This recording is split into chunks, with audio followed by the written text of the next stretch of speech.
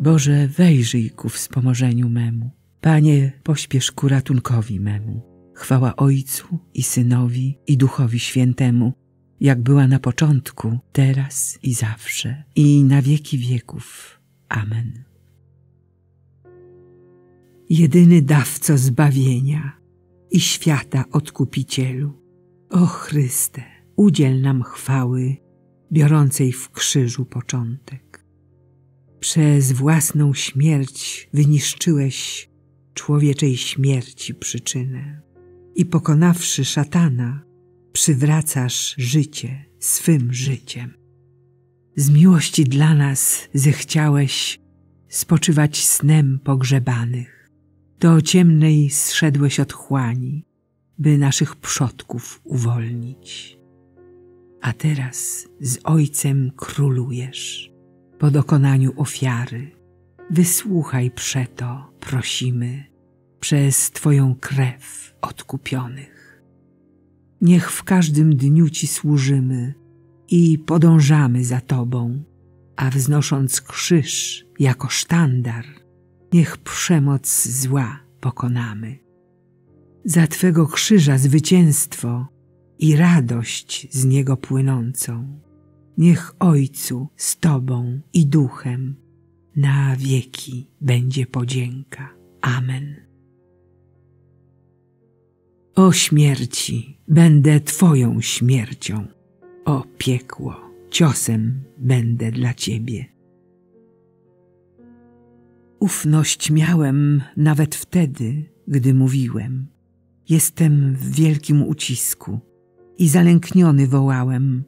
Każdy człowiek jest kłamcą.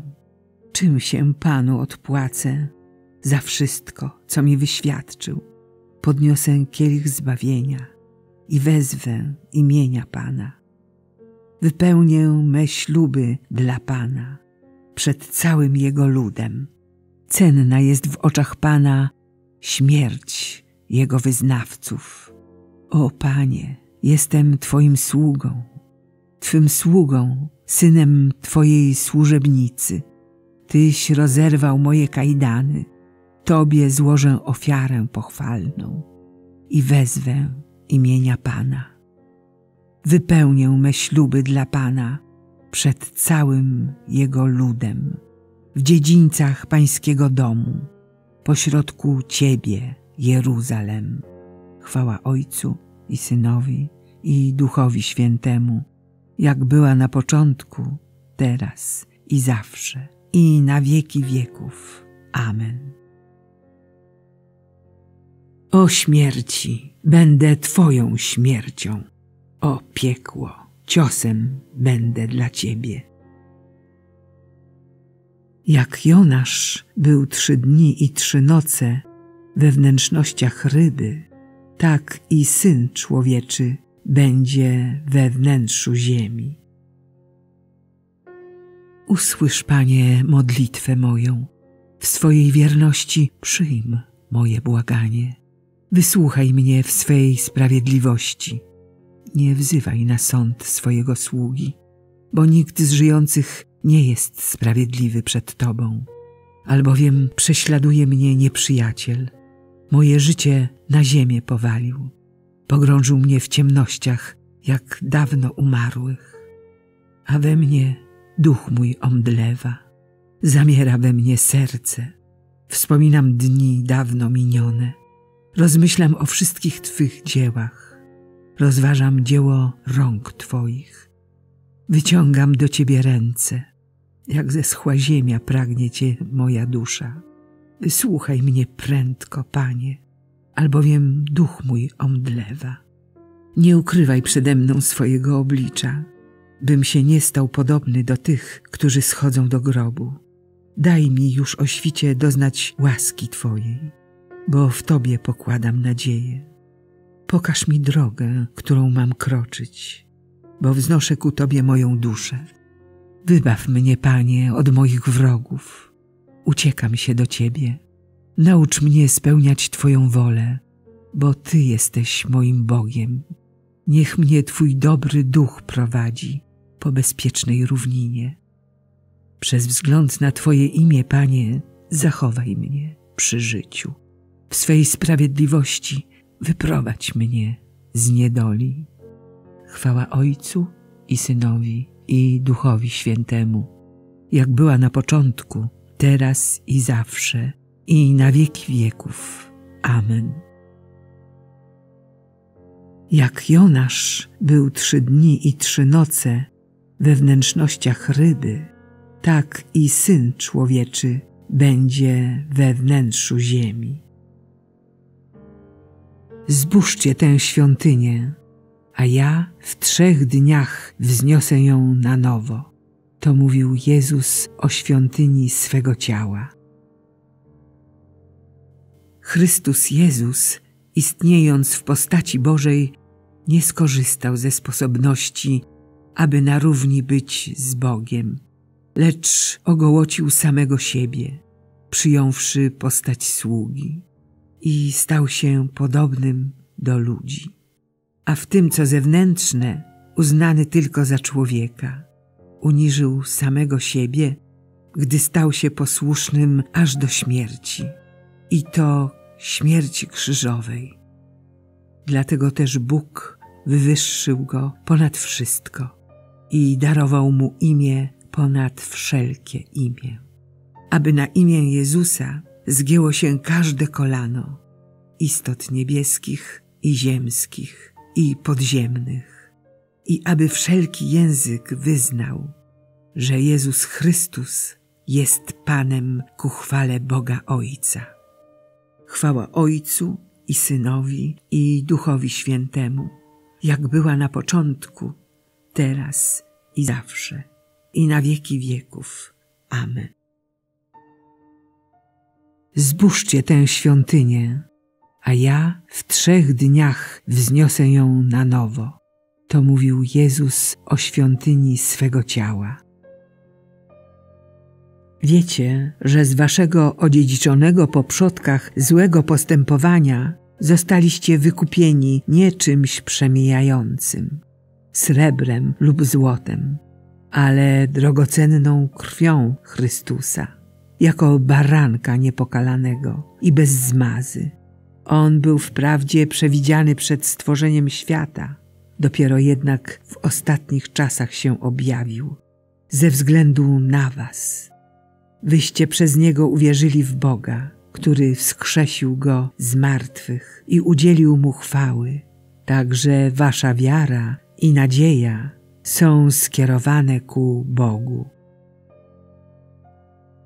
Chrystus stał się dla nas posłusznym aż do śmierci, a była to śmierć na krzyżu. Chrystus stał się dla nas posłusznym aż do śmierci, a była to śmierć na krzyżu. Dlatego też Bóg wywyższył go ponad wszystko i darował mu imię ponad wszelkie imię.